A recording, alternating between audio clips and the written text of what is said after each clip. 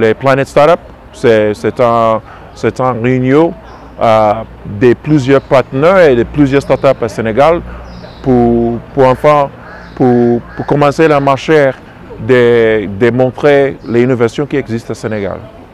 Euh, à Microsoft, nous sommes vraiment intéressés dans ce type d'événement parce que notre mission, c'est de donner la capacité à, à, les individus, à les organisations mondialement de faire plus mondialement.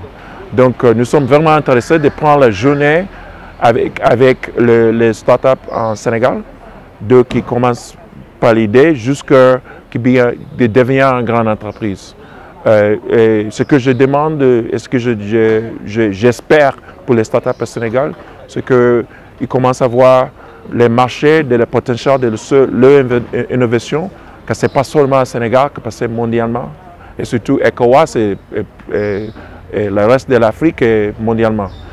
Comme ça, tu peux vraiment voir le potentiel de marché qui, qui existe pour les idées qu'ils ont actuellement maintenant. Les startups en Afrique, le, plus grand problème, c'est les, les, investissements. Euh, même si on a doublé l'investissement euh, en, en, 2018, ça devient plus, plus qu'un billion de dollars, c'est vraiment toujours encore petit c'est difficile pour les startups euh, qui ont déjà créé une plateforme, une application et ils ont déjà même, même euh, une marché de, faire une expansion s'ils n'ont pas d'investissement. C'est ça qui est le, plus difficile euh, pour, les, entreprises en Afrique. Mais même si il y a beaucoup maintenant de gens qui commencent à fonder les, les, les plateformes pour l'investissement en startup, donc je crois que ça va changer même dans dans 12 mois, ça va changer. Moi, je crois que c'est vraiment incroyable. Euh, il y a beaucoup d'innovations euh, parmi plus tous les pays en Afrique, même les pays qui ne sont pas euh, stabilisés, il y, a, il, les startups dans ces pays. Hein. Si tu vas dans presque n'importe quel pays en Afrique, même s'il y a la guerre, il y a une startup là-bas qui fait quelque chose.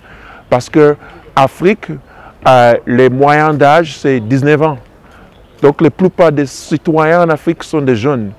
Et les jeunes, ils ont des idées incroyables. Donc c'est notre mission pour exposer ces idées à tout le monde.